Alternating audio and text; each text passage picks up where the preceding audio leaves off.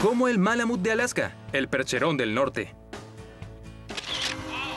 Grande, fuerte y capaz de recorrer grandes distancias. Esta raza trabajadora de gran resistencia puede sobrevivir en temperaturas de hasta 20 grados bajo cero. Son perros robustos y expresivos. Los Malamuts son conocidos por su ladrido estilo canto.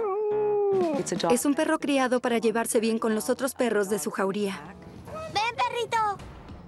Los primeros ancestros del Malamut de Alaska de los que se tiene registro trabajaban con una tribu originaria en el 1700.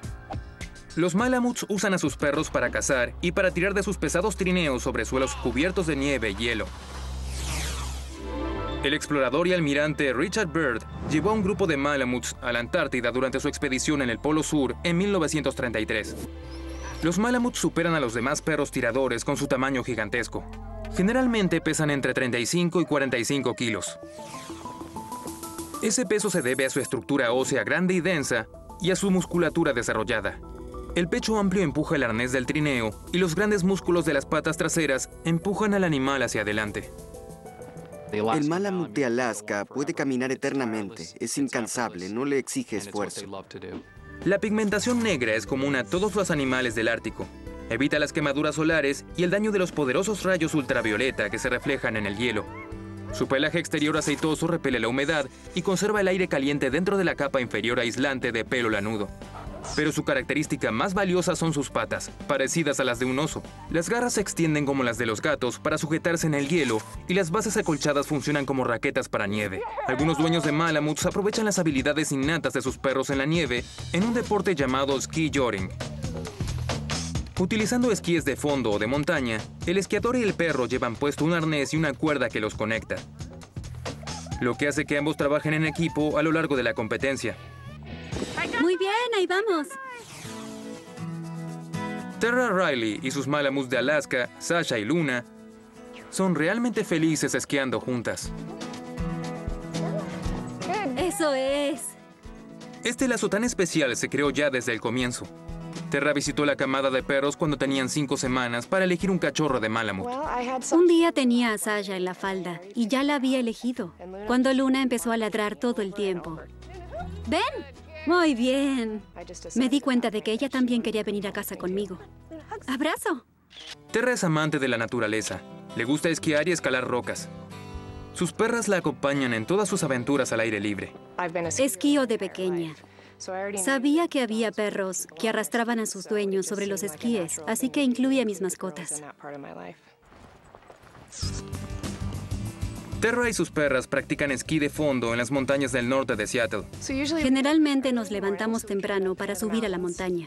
Cuando me ven tomar los esquíes, se entusiasman mucho. En cuanto las dejo bajar del auto, empiezan a correr y a descargar energía. Luego les coloco el arnés y pasamos todo el día en la naturaleza.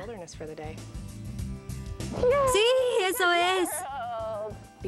Como siempre están conmigo, confío en ellas y ellas confían en mí. Así que no me da miedo atarme con un arnés a dos perras de 80 kilos. Y ese lazo tan especial es lo que les permite practicar ski joring en forma segura.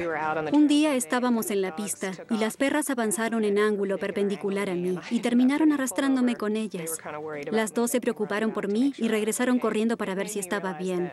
Entonces me di cuenta de que saben muy bien lo que hacen cuando están conmigo. La nieve es una verdadera fiesta para ellas. Perros resistentes y activos, los Malamuts están preparados para los paisajes inhóspitos. Si no tienen una actividad asignada, pueden volverse bastante sedentarios. Pero aún así necesitan mucho ejercicio. Una hora diaria de ejercicio bastante intenso y luego otra hora de caricias en el sillón. Generalmente se llevan bien con los miembros de su propia jauría, pero si los llevan al parque, tengan cuidado. No necesariamente se llevan bien con los perros. El adiestramiento de un Malamut requiere constancia y concentración. Hay que adiestrarlos de cachorros, especialmente si hay niños pequeños. Tengan en cuenta que el Malamut es una clase de perro a la que no se lo puede obligar de ninguna forma a hacer algo que no quiera. Hay que ser creativos e imaginar formas de motivarlo para que hagan lo que queremos. Creado para trabajar en equipo, el Malamut de Alaska suele llevarse bien con los perros que conoce y con toda clase de familias. Pero como en el caso de cualquier perro, los Malamuts no deben dejarse en compañía de niños pequeños sin supervisión. Creo que los Malamuts pueden ser buenos para las familias con niños, pero recuerden que son perros muy grandes. Si bien suelen ser amigables con los niños, no me sorprendería que a veces los golpearan por accidente. ¿Estás sonriendo? Si los llevan a un parque con otros perros y les quitan la correa para que corran libres, puede haber problemas. Y como nacieron para trabajar en jaurías, los Malamuts de Alaska se llevan bien con todo tipo de familias. ¿Estás sonriendo? Y como muchas razas grandes, son propensos a tener displasia de caderas.